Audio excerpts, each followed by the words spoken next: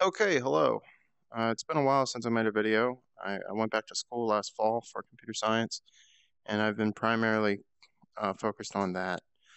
Uh, so I haven't had a whole lot of time to uh, experiment in VR, let alone make a video out of what I've been experimenting in. Uh, for those of you with a trained eye, you may notice that this is not the Unity 3D game engine that I'm recording in.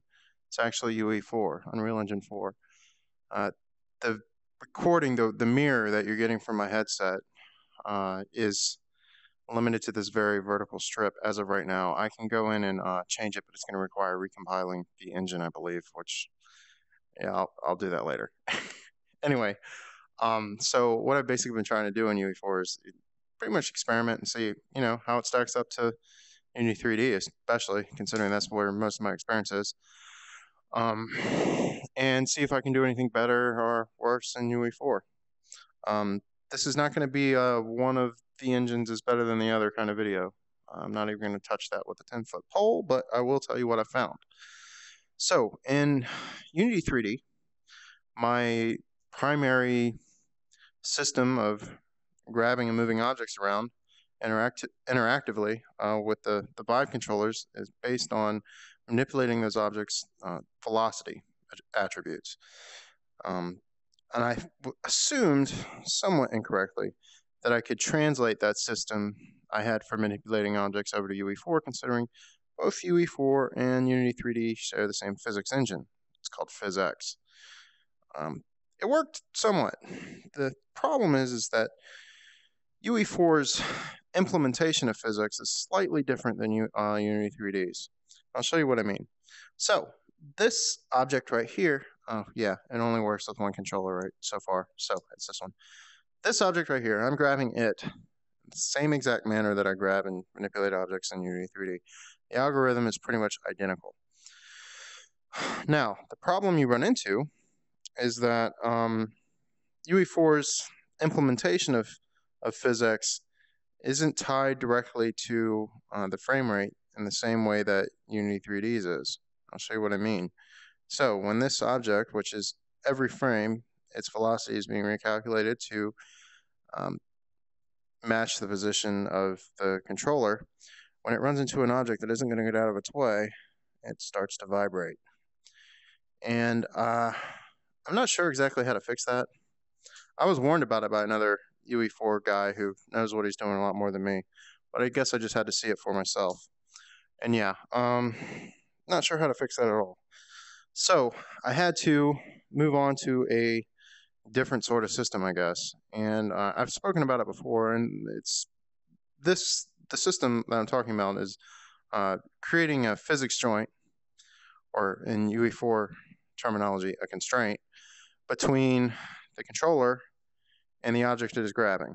And you can do that in Unity 3D too, and people have had some success with it. I personally didn't. Um, I, I personally didn't implement that system for a couple of reasons I'm about to get into. So anyway, so this obviously it obviously works. So you know I'm grabbing this object now. Its shortcoming is that the shortcoming of this this system is that um, it doesn't simulate weight of the object in the same way that my other system for manipulating the velocity of an object did uh, nearly as well or at all, honestly, as far as I can tell. So um, it, it does actually, though, collide with objects fairly well. A lot better than that one does, at least. Um, that one. So I'm not sure exactly what to do. Um, I guess I can figure out the constraint attributes a little bit better. But as of right now, this it doesn't really work that well, and I'll show you what I mean. This object right here is actually really heavy, and I have its uh, what is it called uh, mass scale set up really high. I have its density set up on it really high, and its physics uh, material. Um, so I, I, don't know. I, I probably just don't understand UE4 well enough to uh, get an effective heavy object out of it. But um, as of right now, I can just you know uh, there's actually an object here that's invisible, so I'm gonna move over here. As of right now, just a flick of the wrist, and this thing weighs like a ton, I think, something like that, like thousands of pounds. It just, yeah, it just goes and no problem. Just flick of the wrist. Meanwhile, this subject, you know, uh, I actually haven't uh, set its uh, rotational velocity or angular velocity at all. Uh, all I'm getting is the position of this object. I don't know if you can really see it, but it is just a sphere. But um, when I throw this guy, you know, it, it he's pretty heavy too. I don't think he's as heavy as that one, but uh, he actually reacts somewhat intuitively. Uh, so anyway, the jointing system it works.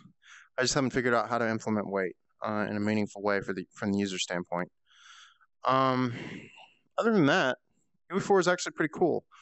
The the programming interface is primarily through a node graph system called uh, Blueprints, which is visual scripting essentially, and um, really easy to use, really fast prototyping. Uh, a lot of feedback will tell you if you what you're doing is wrong. You know, uh, I really like it, uh, and augmented by that, uh, uh, augmenting that system is a C++ API, which is um, actually a lot more powerful than the blueprints. Blueprints don't have access to every feature of the engine, which I figured out when I was trying to implement um, uh, modification to an object's rotational velocity based on the orientation of another object. Because you don't have as much access to objects, uh, quaternions that, that dictate their rotation as you do uh, in, say, Unity 3D's C Sharp API, uh, as you in Blueprints. So what I had to do was go into the C++ API and access that quaternion. Um, and what I was doing didn't really work, so I'm not showing it off here.